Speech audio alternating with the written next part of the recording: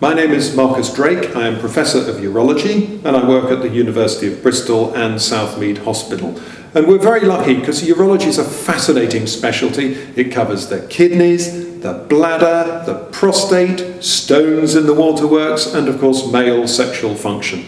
Now, within Southmead Hospital, there are three huge government funded studies. There is the Upstream trial, that's looking at the urodynamic testing of men who are considering whether to have prostate surgery.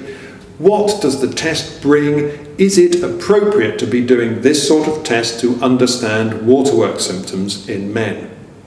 We're also looking at conventional prostate surgery compared with a new sort of laser operation.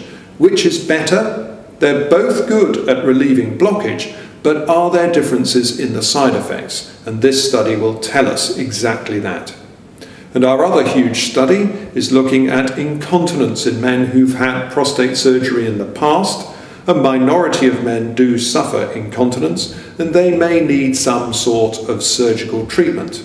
So we're looking at the benefits of a new operation called the male sling in comparison with the more established artificial sphincter. And that will be reporting in three years' time.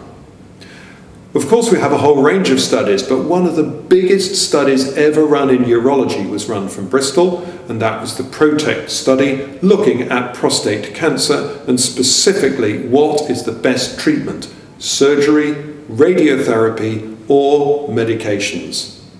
Of course, we contribute to a whole range of trials run in other centres, and we're extremely active at contributing to a whole range of studies. And I feel that this is one of the most beneficial aspects of treatment within Southmead is the opportunity to contribute in an area where Southmead really excels and is recognised worldwide.